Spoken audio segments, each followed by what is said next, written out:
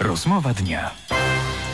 Dzień dobry Państwu, przed mikrofonem Jakub Rożek. Witam w to e, bardzo e, takie smutne, e, ten smutny poranek. Moim i Państwa gościem komisarz Tomasz Janik, zastępca naczelnika Wydziału Ruchu Drogowego Komendy Wojewódzkiej w Kielcach, Komendy Wojewódzkiej Policji w Kielcach. Dzień dobry. Dzień dobry państwu.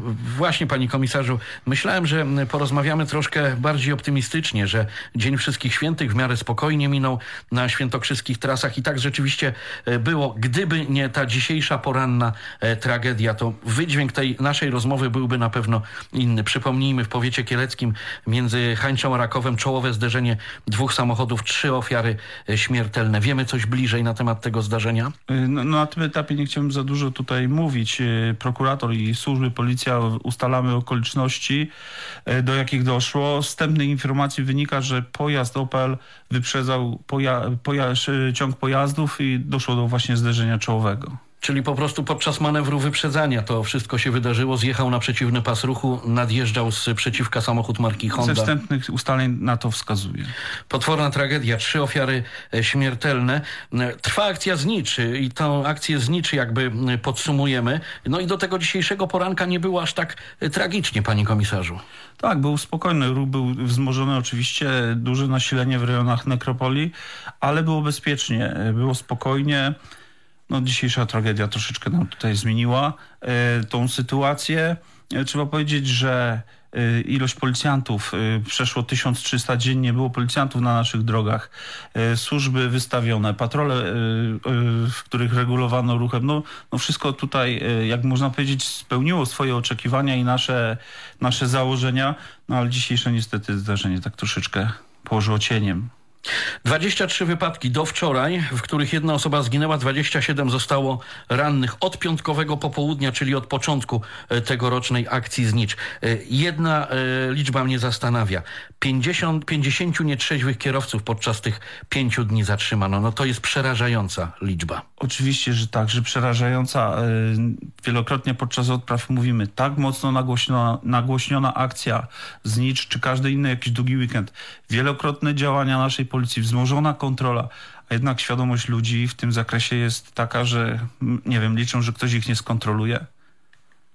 Jeszcze jedna y, liczba, która mnie także zapadła e, w pamięć. 34 prawa jazdy to dane na wczorajszy wieczór, odebrane za przekroczenie prędkości o co najmniej 50 km na godzinę. Przepis wszedł już jakiś czas temu. Wszyscy doskonale wiemy, że w terenie zabudowanym, jeżeli będziemy jechać szybciej niż 50, e, o 50 km na godzinę, to po prostu to prawo jazdy stracimy, a mimo to ludzie ryzykują.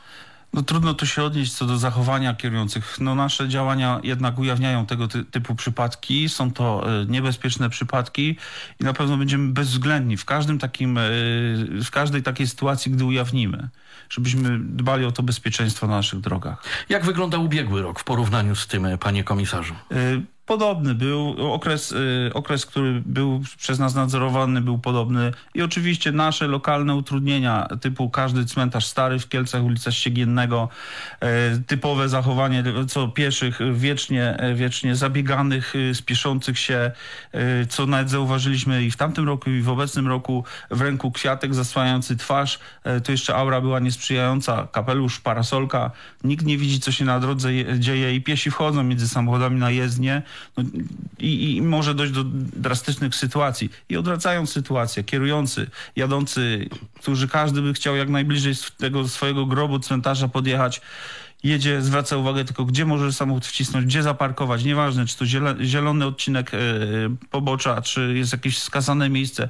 Byle tylko się zatrzymać, nie zwraca właśnie uwagi na tych pieszych, którzy, którzy są w jakiś sposób też y, wyłączeni z myślenia, co się dzieje na drodze. Wczoraj na ulicy Ściegiennego byłem świadkiem takiej sytuacji, że po prostu kierowca, mm, y, no jadąc w tej kolumnie, w tym korku długim, zatrzymał samochód. Pasażerowie wysiedli na środku jezdni, y, przeszli w pobliże y, muru cmentarnego, kierowca pojechał dalej. No, zachowania karygodne wręcz. Oczywiście, no mówię, wielokrotnie. Wielokrotnie takim ludziom zwracamy uwagę, gdzie tylko mamy możliwość, gdzie, gdzie takie przypadki ujawnimy, a każdy tylko się tłumaczy, bo ja chciałem na chwilę tylko wysadzić, wysadzić. No ale właśnie to zachowanie na jezdni, gdzie jest y, kolumna czy jakiś tam y, korek, no utrudnia, dalej, dalej utrudnia pracę tym policjantom y, pracującym na skrzyżowaniach, a chcę podkreślić, że nie jest to ich łatwa praca, bo cały dzień y, monitorują, nadzorują te skrzyżowania, są obecni po to, żeby pomóc.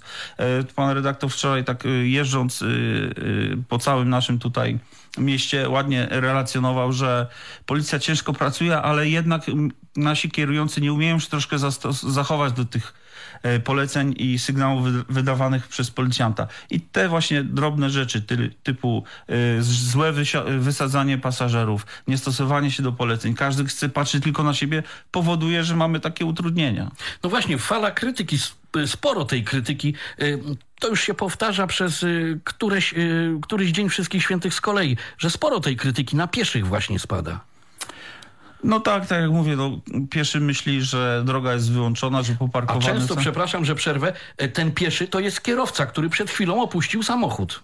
Zgadzam się z tym. Mówię, no każdy e, w zamyśle ma szybko, jak najszybciej dotrzeć do swojego grobu na miejsce e, spotkania z rodziną, z bliskim, która już odeszła. No i zapominamy o tych podstawowych rzeczach, a chwila nieuwagi typowa, typowa rzecz, że może dojść do tragedii. Panie komisarzu, jakie błędy najczęściej popełniają kierowcy w tych właśnie stresowych y, okolicznościach podczas y, y, tego dużego natężenia ruchu? Można tu wyłonić, powiedzieć podstawową rzecz, że przede wszystkim kierujący jeżdżą na pamięć. E, okres tutaj właśnie znicza i jest to okres, w którym wprowadzamy zmiany w organizacji ruchu. One są wymuszone e, po prostu doświadczeniami naszymi, obserwacjami zarządcy drogi, jak u nas policji, po to, żeby była właśnie lepsza płynność, przejezdność e, i ten e, dzień znicz, znicz nie był uciążliwy. Na pewno jest to, że nie umieją się stosować, większości kierujących nie znają sygnałów i poleceń wydawanych przez policjantów. No i przede wszystkim tak jak mówiłem, szukanie na siłę wszel wszelkich miejsc do zaparkowania.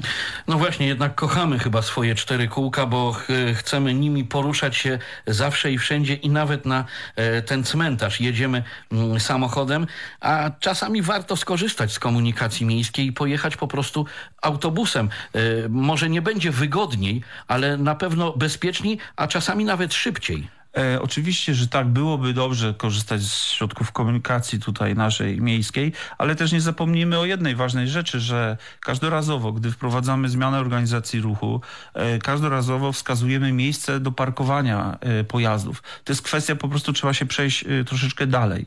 E, parkingi nie za bardzo były wczoraj, jak pan redaktor net zauważył, nie były tak bardzo mocno obciążone ob, e, obecnością pojazdów. Szczególnie więc... przy bibliotece, Wojewódzkiej Bibliotece Publicznej przy stadionie choćby i nawet. Dlatego mówię, to jest kwestia po prostu wykorzystania tego, co jest y, tutaj, można powiedzieć, zapewnione.